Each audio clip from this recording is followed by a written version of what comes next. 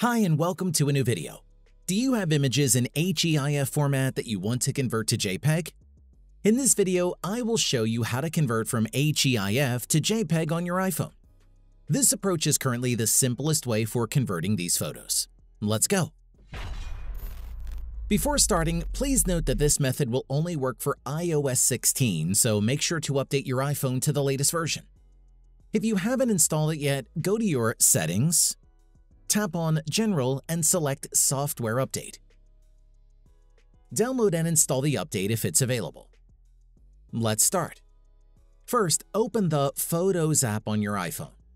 Select the image you want to convert and tap on the Share icon at the bottom left of the screen. You can also select multiple images by swiping on the available photos in your gallery and select each one individually. For now, I'll go with one image only. Then scroll down below and choose Save to Files. You'll have the option to either store it locally on your iPhone or save it on your iCloud Drive. You can choose whichever is most convenient for you. In my case, I will save the image on my local iPhone storage. After choosing the destination folder, tap on Save. Next, go to your Files app and locate the image. Long press on it and select Quick Action.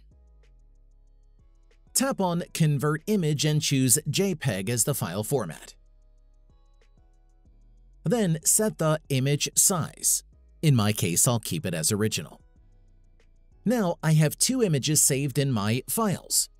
This one here is the converted image in JPEG format, while the other is the original HEIF photo.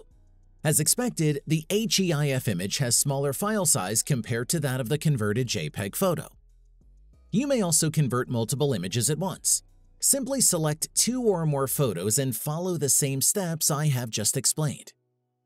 After the process, the converted image remains stored in the Files app. To save it to your gallery, press and hold on the photo. Tap on Share, then choose Save Image. Next, open the Photos app and you should see the image you have just converted. When you swipe up over the image, you can see that it's now in JPEG format. If you often use JPEG images and don't want to frequently go through the conversion process, you can manually set up your iPhone to automatically save captured photos in JPEG format. To do this, open Settings, navigate to Camera and select Formats. Then set the Camera Capture to Most Compatible. After that, your iPhone will now automatically save your images in JPEG instead of the default HEIF format. And that's it.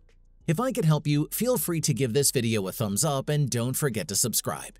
Leave a comment down below if you have any questions. See you next time. Bye.